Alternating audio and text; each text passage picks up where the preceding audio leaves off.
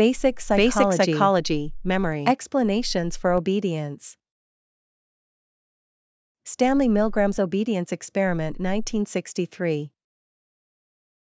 Milgram's experiment aimed to understand why people obey authority figures even when the action is inhuman or destructive. That's right. He recruited 40 male volunteers from different backgrounds, occupations, and ages to participate in the study. The volunteers were deceived into thinking that the study was about memory and learning, and they were asked to shock the learner every time he answered a question incorrectly. Yes, and the learner was a Confederate who received no electric shocks. The experiment aimed to see how far the participants would go in administering shocks. What were the findings of the experiment? Milgram's study found that out of 40 participants, 62% of them went on to give the maximum shock of 450 volts.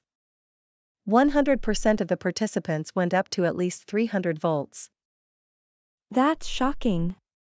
Did anyone resist the pressure to obey? Yes, 14 out of the 40 participants did manage to resist the pressure to obey and chose not to continue above 300 volts. It's fascinating to see how far people can go when obeying authority figures. Indeed, and Milgram's experiment has significant implications for understanding human behavior and obedience to authority. Situational variables affecting obedience. It's fascinating how situational variables can affect obedience rates. Definitely. What is the proximity between the teacher and learner can affect obedience rates?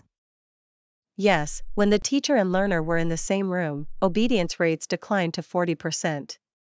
However, when the experimenter gave orders over the telephone, more people were able to resist with only 20% of participants going all the way to 450 volts. That's interesting. What about the impact of location on obedience?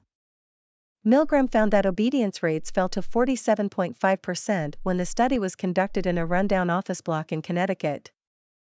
This suggests that the perceived legitimacy of the authority figure was lower due to the location and its context. Wow, I had no idea. What about the effect of uniforms on obedience rates? Uniforms can impact obedience rates with those wearing them being perceived as having legitimate authority and people more likely to obey their orders. In Milgram's study, the researcher wore a white lab coat, which is believed to have added to his perceived authority. That's fascinating. Do you have any other examples? Bickman found that when a research assistant dressed in a police styled uniform asked people passing by to loan her money for a parking meter, obedience rates were as high as 72%. This highlights the power of uniforms in obedience. The agentic state. The agentic state is when an individual no longer sees themselves as responsible for their own behavior and instead becomes an agent of an authority figure they are obeying. That's right. It was first proposed by Stanley Milgram in his electric shock study. Milgram found that people gradually entered the agentic state as they complied with the smaller shocks before being bound into the agentic state. However, some critics argue that the agentic shift theory fails to explain the gradual and irreversible transition found in many Holocaust perpetrators.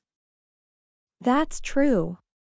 Robert Lifton found that the experience of carrying out acts of evil over a long period of time changed the way in which individuals thought and behaved. Other social scientists believe that Milgram detected some signs of cruelty among his participants, who then used the experimental situation to express their sadistic impulses. Fennis and Aarts also conducted studies showing that a reduction in personal control resulted in greater obedience to authority and bystander apathy. Legitimacy of authority. Have you ever thought about the legitimacy of authority figures? Yes, it's an important aspect of social interactions and obedience. Exactly, it's essential for a person to enter the agentic state. Did you know that people are socialized from an early age to accept a hierarchy of power exists within society? Yes, we obey authority figures because we are taught to trust them or because they have the power to punish us. Milgram's shock experiment demonstrated the importance of perceived legitimacy of authority. Obedience was high at 65% when the experiment was conducted at Yale University. When the setting was altered to an office in downtown New York, obedience dropped to 48%. That's interesting. The change of setting effectively reduced the perceived legitimacy of authority from the experimenter. The legitimacy of authority can be signaled by the use of a uniform. In Bickman's 1974 field experiment, 92% of pedestrians obeyed a stranger's order to give them money for a parking meter when they were dressed as a security guard. This dropped to 49% when the same person was dressed in civilian clothing. Legitimacy can also serve as the basis for inflicting harm on others. Blind obedience to authority figures regardless of how destructive the actions are has been a recurring theme in history. Tarnow's study of aviation accidents also provides support for the power of legitimate authority. An excessive dependence on the captain's authority and expertise accounted for 19 out of the 37 accidents investigated by the U.S. National Transportation Safety Board. The authoritarian personality. The authoritarian personality is a dispositional explanation that suggests obedience is caused by internal characteristics of an individual. The authoritarian personality is characterized by rigid, intolerant, and conservative beliefs and absolute obedience to authority. Who proposed this personality type? Theodor Adorno, Nevitt Sanford, Else Frenkel Brunswik, and Daniel Levinson proposed the authoritarian personality as an explanation for people with these characteristics.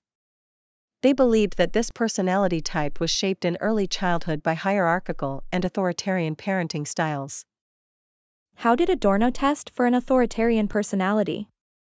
Adorno created the F scale questionnaire, which comprised 30 questions assessing nine personality dimensions. He studied over 2,000 American students from mainly white middle class backgrounds, and found that people who were brought up by strict parents who used harsh, physical punishments when they were children were likely to grow up to be very obedient. Are there any criticisms of the authoritarian personality explanation?